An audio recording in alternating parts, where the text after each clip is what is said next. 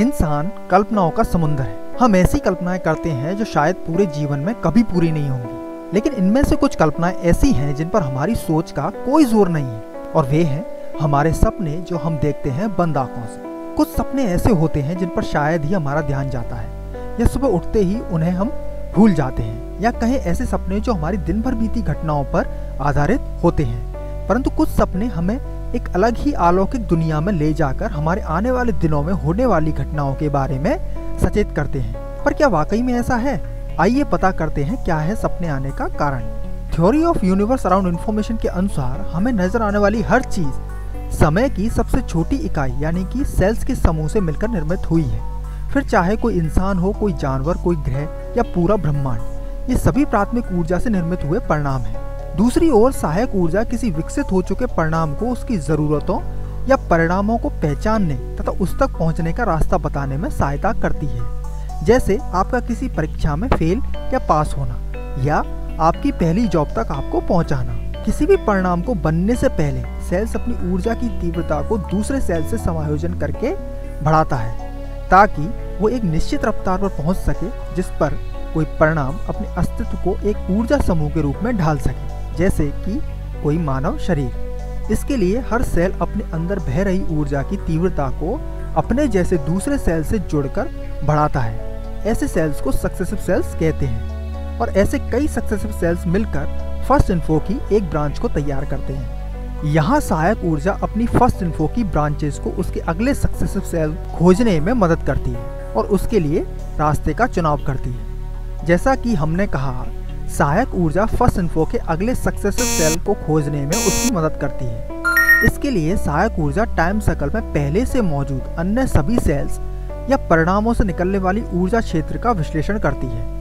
हालाँकि, वो उन्हीं ऊर्जा क्षेत्रों का विश्लेषण कर सकती है जो या तो उसकी जैसी रफ्तार पर हो या उससे कम रफ्तार पर गतिमान हो। इन विश्लेषणों को फ़र्स्ट मीटिंग कहते हैं। इन्हीं विश्लेषणों में वह उस सेल को भी पहचानती है जिसकी उसे आवश्यकता है। अब क्योंकि एक टाइम साइकिल कई सारे इन्फॉर्मेशन ग्रुप का समूह होता है तो हो सकता है वह सेल किसी अन्य इन्फॉर्मेशन ग्रुप में गतिमान हो। और उस तक पहुँचने के लिए फ़र्स्ट इन्फो को कुछ चाहे, अनचाहे इवेंट्स आवश्यक या अनावश्यक परिणामों से गुजरना पड़े। एक बार सेल के बारे में पता चल जाने के बाद फ़र्स्ट इन्फो अपना सफ़र शुरू करती है। और इस दरमियान सहायक ऊर्जा अपने आसपास मौजूद अन्य सेल्स या आगे आने वाले इवेंट्स के बारे में सूचना इकट्ठा करती रहती है। जिससे कि फ़र्स्ट इन्फो को कम से कम खतरे से निकालकर उस सेल्स तक पहुँचाया जा सके।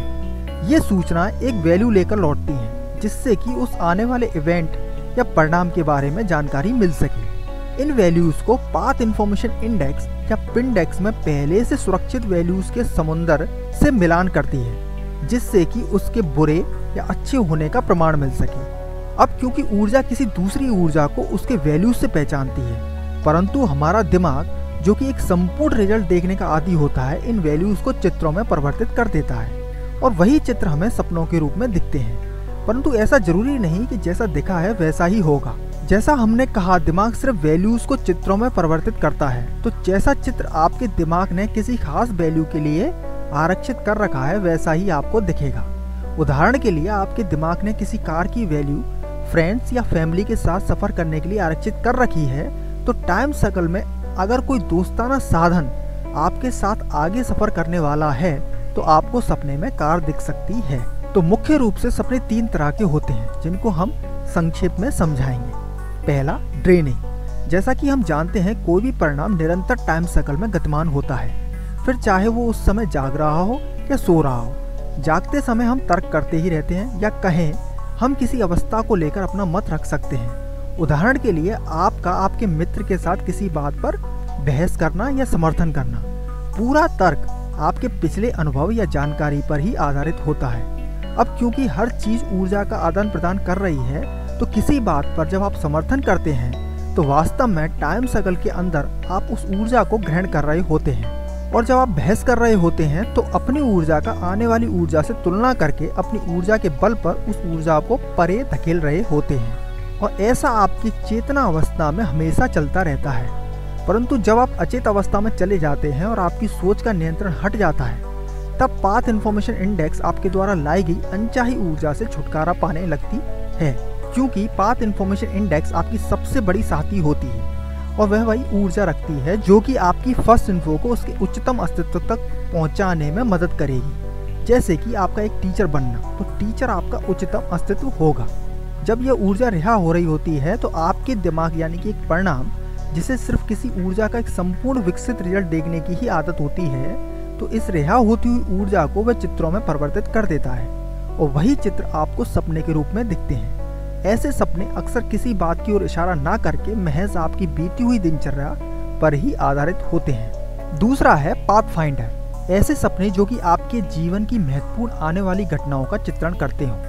पाथ फाइंडर ड्रीम्स कहलाते हैं। फ़र्स्ट इन्फो अपनी ऊर्जा क्षेत्र का निरंतर विस्तार करती रहती है, जिससे कि उसे उसकी ऊर्जा क्षेत्र या एनर्जी स्पीड के मुताबिक परिणामों को देख सके या पा सके। फ़र्स्ट इन्फो की एनर्जी स्पीड को बढ़ाने के लिए इसे निरंतर सक्सेसिव सेल्स की आवश्यकता रहती है। ये सक्सेसिव सेल्स उसके लिए पहले से ही समय द्वारा निर्धारित कर दिए जाते हैं। फ़र्स्ट इन्फो को तो मात्र एक पहेली की तरह इन्हें टाइम सर्कल में ढूंढना होता है। अब मान लीजिए किसी फ़र्स्ट इन्फो को किसी परिणाम को पाने के लिए 10 सक्सेसिव सेल्स की आवश्यकता है। इन 10 सेल्स को पाने के बाद ही वो उस रफ्तार पर पहुँच पाएगी जिस पर कि एक इच्छित परिणाम ट्रेवल कर रहा है। अब मान लीजिए उसे सातवां सेल ढूंढना है तो वो उस तक तभी पहुँच पाएगी या उसे ढूँढने के लिए उसे निकलने वाली ऊर्जा क्षेत्र को तभी पढ़ पाएगी जब उसके पास पिछले छह सेल्स पहले से ही मौजूद हों। पाथ फाइंडर के चार मुख्य प्रकार होते हैं। पहला स्ट्रेट टू स्ट्रेट मान लीजिए आपका घर एक टाइम सर्कल है और उसमें पाँच कमरे, पाँच इंफॉर्मेशन ग्रुप को व्यक्त कर रहे हैं। अब मान लीजिए आप किचन में हैं और स्टडी रूम में जाना है। यहाँ आपको स्टडी रूम का पता पहले से मालूम है तो आप आसानी से उस रूम में जा सकते हैं। तो किसी टाइम सर्कल के अंदर अगर सहायक ऊर्जा, मन चाहे सेल को रखे हुए इंफॉर्मेशन ग्रुप से पूरी तरह परिचित है तो ऐसे ड्रीम्स को स्ट्रेट टू स्ट्रेट कहेंगे। ऐसे ड्रीम्स में ड्रीमर कोई अप्रत्याशित घटना होता हुआ नहीं देखेगा। दूसरा है स्ट्रेट टू टर्न ऐसे ड्रीम्स में मान लीजिए घर को तो आप जानते हैं, परंतु उसके कमरों से पूरी तरह अनजान है। अब अगर आपको स्टडी रूम से किसी बुक को लाने को कहा जाए और मात्र एक दिशा दे दी जाए तो आपका किचन से लेकर स्टडी रूम तक का रास्ता पूरी तरह अनजान होगा। उसी तरह अगर कोई सहायक ऊर्जा किसी इंफॉर्मेशन ग्रुप और उसमें उस समय सफ़र कर रहे सेल्स या परिणामों से अनजान हो, पर फिर भी उसे उस रास्ते से गुजरना पड़े, इसके लिए वह अपनी ऊर्जा का इस्तेमाल उन सभी नज़दीकी सेल्स या परिणामों की ऊर्जा क्षेत्र को पढ़ने में लगाती है। और जिसकी जैसी ऊर्जा क्षेत्र हो, उसकी वैल्यू के अनुरूप हमारा दिमाग उसे चित्रित कर देता है। जैसे कि अगर कोई आगे ऐसा परिणाम है जो कि स्वप्न देख रहे किसी व्यक्ति को आर्थिक रूप से ठगने वाला है तो ऐसी लौटती हुई ऊर्जा क्षेत्र को हमारा दिमाग किसी शेयर लोमड़ी या किसी व्यक्ति की तस्वीर, जिसे वह व्यक्ति वास्तविक दुनिया में धूर्त मानता हो, उसका पीछा करता हुआ या उसका रास्ता रोकता हुआ सपने में देख सकता है। जिस व्यक्ति को टाइम सर्कल में इस प्रकार के रास्ते से गुजरना पड़े,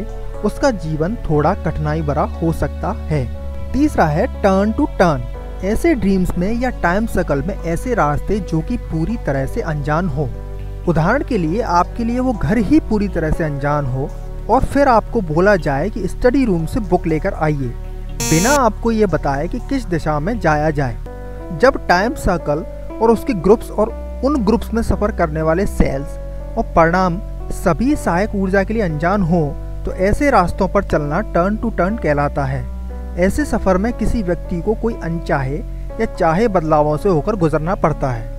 ऐसे रास्तों पर चलने वाले को ड्रीम्स अनजाने और रहस्य में होते हैं। चौथा है टर्न टू स्ट्रेट ऐसे रास्ते पूरी तरह स्ट्रेट टू टर्न से उल्टे होते हैं, जिसमें आपको स्टडी रूम से पुनः किचन में आने को कहा जाता है, जिसका रास्ता आपको पहले से ही पता होता है।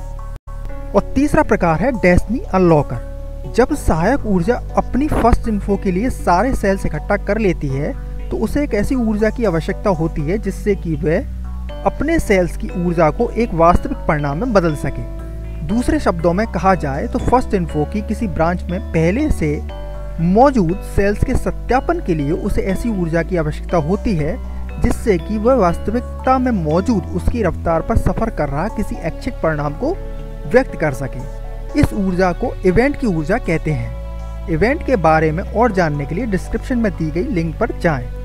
इवेंट से मिलने वाली ऊर्जा फ़र्स्ट इन्फो के अंदर मौजूद सेल्स को चार्ज कर उसे उसकी रफ्तार पर सफ़र कर रहे अन्य परिणामों तक पहुँचाने में मदद करती है।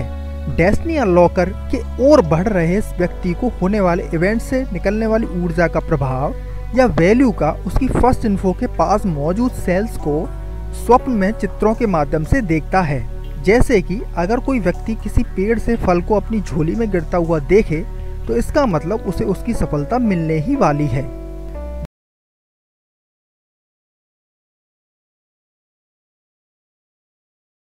रिकर्सिव ड्रीम्स ऐसे सपने जिनकी पुनः आवृत्ति एक क्रमबद्ध तरीके से हो, उन्हें रिकर्सिव ड्रीम्स कहेंगे। और ये अक्सर पाथ फाइंडर ड्रीम्स का मुख्य पहचानने का तरीका है। जैसे कि आप किसी सपने को हर रात आगे बढ़ता हुआ देखें, या एक ही सपने को कुछ फेर बदल के साथ बार बार आता हुआ देखें। दूसरा है इंडिविजुअल ड्रीम्स ऐसे सपने की आवृत्ति कुछ दिनों या एक बार ही होती है। ऐसे सपने वास्तविकता में किसी अच्छे या बुरे परिणाम का आपके पास से होकर गुजरना या आपके रास्ते पर उसके प्रभाव को दर्शाते हैं। हालाँकि फ़र्स्ट इन्फो आपको उसी रास्ते पर ही रखेगी जिस रास्ते को उसने चुना है। परंतु अगर गुजरता हुआ परिणाम की ऊर्जा उच्च तीव्रता लिए हुई और वो आपकी फ़र्स्ट इन्फो की दूसरी ब्रांचेस को प्रभावित कर पाए तो कुछ समय के लिए आपके लिए परिणाम सकारात्मक या नकारात्मक हो सकते हैं। ये प्रभाव कुछ बेहद ही दुर्लभ मामलों में स्थायी हो सकता है कि कोई फ़र्स्ट इन्फो अपने रास्ते को किसी परिणाम की मौजूदगी में बदले। ऐसे उच्च तीव्रता लिए परिणामों से प्रभावित होकर अपने रास्ते में फेरबदल करना फ़र्स्ट इन्फो की एक खूबी ही है, जिससे कि आपको किसी बड़े खतरे से बचाया जा सके।